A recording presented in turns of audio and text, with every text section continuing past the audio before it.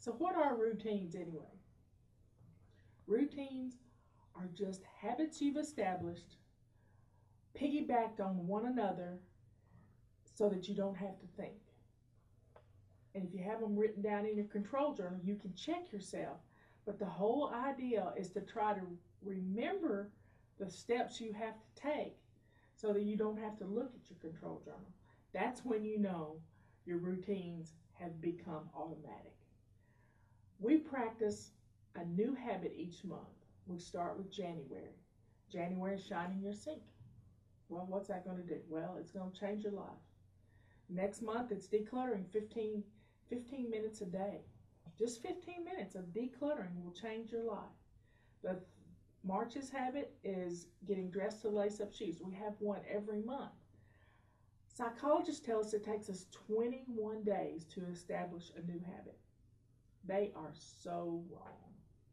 Because, you know, with our perfectionism, we tend to want to throw the baby out with the bathwater if we miss one day.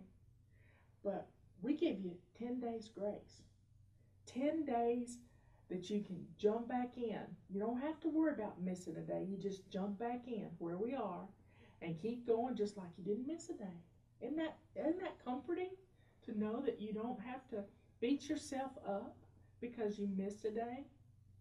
I had a friend one time who went on this great diet, lost a lot of weight, and then she ate one little Snickers bar, one of the baby ones. And it upset her so bad that she threw the diet out the door and gained 80 pounds in three months. What does that tell us about ourselves? We beat ourselves up because we haven't taken the time to be kind to ourselves in the process. One habit, piggyback it onto something you've already learned, and then before you know it, you've got a nice little three to five step routine that that you're on automatic pilot and stuff gets done in your house.